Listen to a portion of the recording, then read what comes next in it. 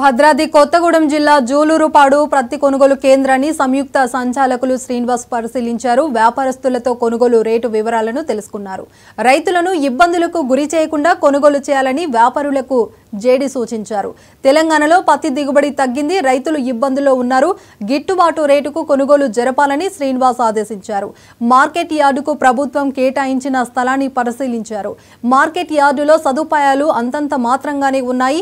ప్రభుత్వానికి ప్రతిపాదనలు పంపి మార్కెట్ అభివృద్ధికి దృష్టి సారిస్తారని జాయింట్ డైరెక్టర్ శ్రీనివాస్ సిబ్బంది హమాలీలు రైతులకు భరోసా ఇచ్చారు. ఈ కార్యక్రమంలో జిల్లా మార్కెటింగ్ అధికారి నరేందర్ మార్కెట్ యార్డ్ కార్యదర్శి పాల్గొన్నారు.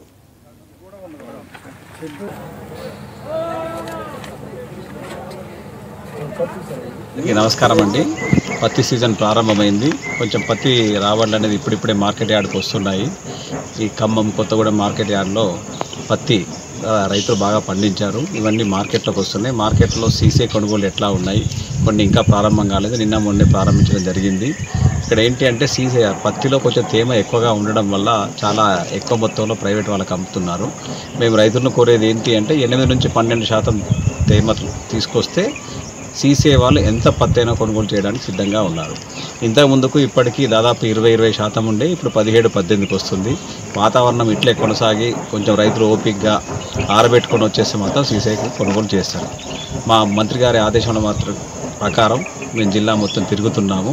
భద్రాచలం మన ఇల్లెందు కొత్తగూడెం ఇవన్నీ మేము జిన్నింగ్ మిల్లు పరిశీలించినాము. భద్రాద్రి కొత్తగూడెంలో నాలుగు జిన్నింగ్ మిల్లు కొనుగోలు జరుగుతున్నవి సార్ మీరు విడిచిపెట్టండి సార్. సార్ పడుకోరా. అయితే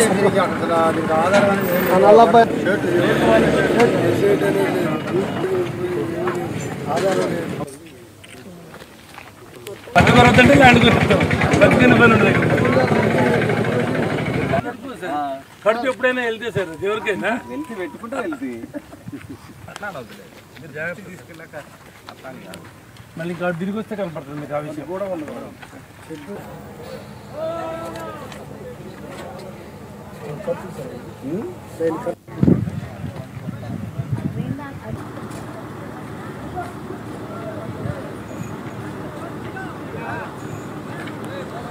మీరు పట్టుకోండి సార్ సార్ మీరు విడిచిపెట్టండి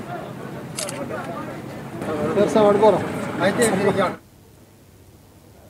ఇకపై విజయవాడ నుండి శ్రీశైలం వరకు స్లీప్ ట్రైన్ రాకపోకలు ప్రారంభం